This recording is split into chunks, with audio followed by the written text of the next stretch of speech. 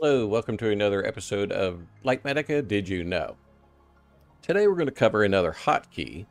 There's a few of them. It is the information overlay hotkey, and while pressing the key, I can actually see the block state of blocks in this actually already built structure, as well as within the actual schematics and their actual contents. So if I hold that, I can see the contents of this chest, as well as the block state, what direction it's facing, things of that nature.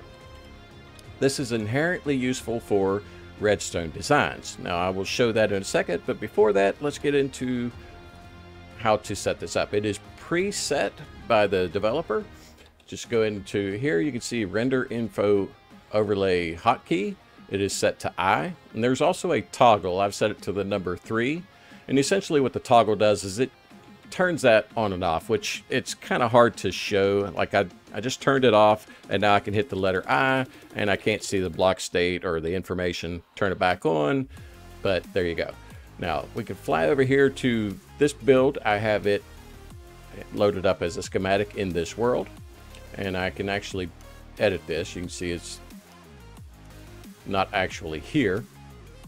What I want need to do is I will turn off some of this so that we can see the redstone circuitry. Now, you're, you've got this posted or into the world and you need to build it, but you're onto the redstone circuits. You need to know what is in the container. It will actually show you the contents because this is actually stored into the schematic by default. This can actually be toggled on and off in the configuration menus to ignore the contents of containers I do not recommend doing so if you're doing a lot of redstone circuitry or if you're doing a very large redstone build like this here.